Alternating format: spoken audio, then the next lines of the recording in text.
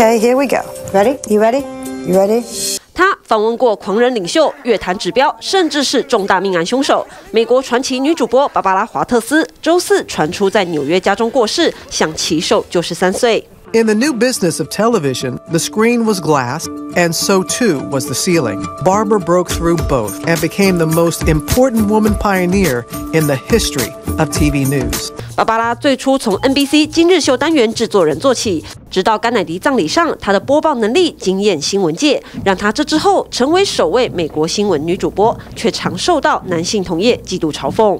If I could do the interview outside of the studio, it was mine.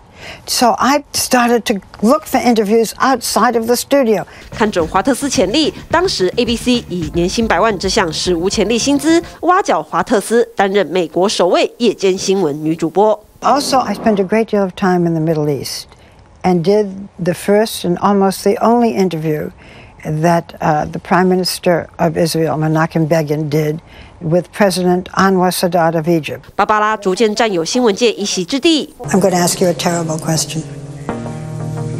Did you ever order anyone killed? Нет. 多位美国总统都是她的座上宾，但芭芭拉最知名的是在1997年创立第一个全女性主持的招牌节目《观点》。Look, I was trying to find a show that Michelle actually watched.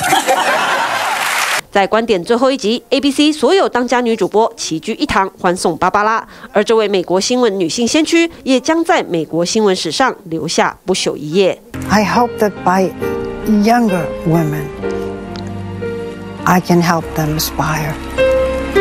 TVBS 新闻综合报道。掌握全球情势、国际新闻，全新选择 YT 频道 TVBS 国际 Plus，扩大视野。欢迎订阅并开启小铃铛。